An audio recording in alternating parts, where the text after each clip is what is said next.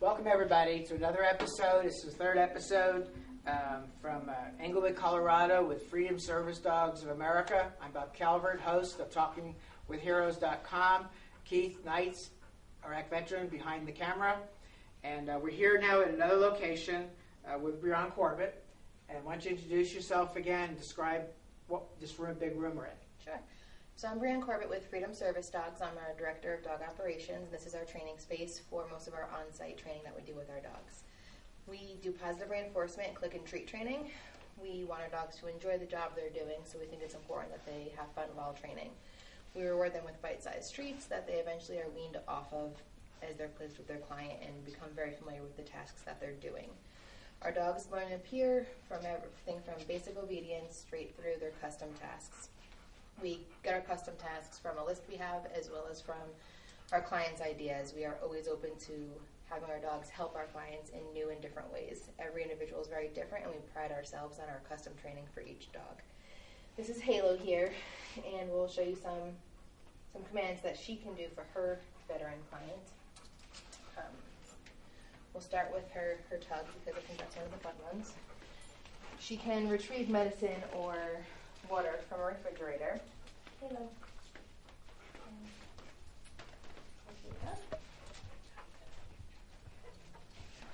Girl. Thank you. Okay, take it. Oh, okay, that's very nice. Thank you. So for some of our clients, pulling a refrigerator open is too difficult or bending over to retrieve something is too challenging where the dogs can really help with this and increase the client's independence.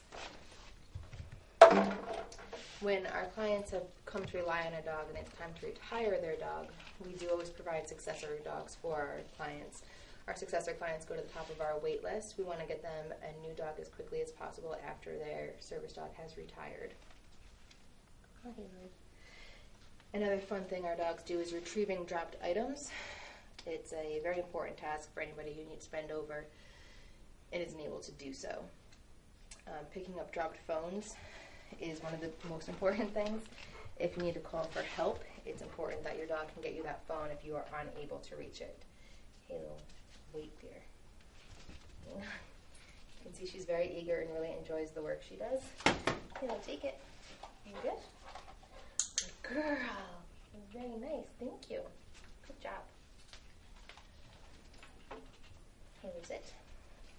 So each client we work with has very individual needs and specific tasks that they want their dog to do in order to increase their independence. Halo here is going with a veteran and has learned the tasks to help him specifically. Did, did you have more questions, Bob? Um, you talked about opening, they can open a door. Yes. Is that, you want to show that? up Yeah, they can also open um, handicap accessible doors by pushing the, the handicap buttons. So we have a kind of a faux button here that we just work with to teach the dogs how to target that specific location. Okay, Halo. Hey, button. Halo, a button. Good girl. That was pretty good. Good job, dear. How long does it take to actually train them to be able to do that, where it becomes part of their, So it really depends on the individual dog. Some dogs are fast learners, and some dogs need a little bit more time to really grasp the concept of what you want them to do. Halo has been a very intelligent dog, eager to learn, quick to learn, but you're usually looking to teach a new task that it would take several months for it to become kind of innate to the dog to just do it very naturally. And we really work with our clients to be able to teach their dogs new commands. We ask that they teach their dog a new command two new commands in the first year that they have their dog. We want them to become a really great working team together, and training together is a great way to bond with your service dog. If our clients' needs ever change, their physical challenges change, maybe they're able to walk with a cane today, and in a few years they end up in a wheelchair, we do provide lifetime support and we'll help them train their dog on how to accommodate their new needs. That's, I think, a very important part of our program, the lifetime support that we provide for our clients we want to be there to support them in whatever capacity they need us to. So they leave with a service dog a month or two later, there may be someplace else in the country and there's some issues they need help with. What do they do? They just call you? Absolutely. So we talk with our clients regularly. do phone calls, email. We assist them as much as possible from a distance, but if necessary, we will go to our clients to teach them the new ways if they need to work with their dog to get the, the use they need of their service dog. Great. Well, thank you very much. Where are we going next?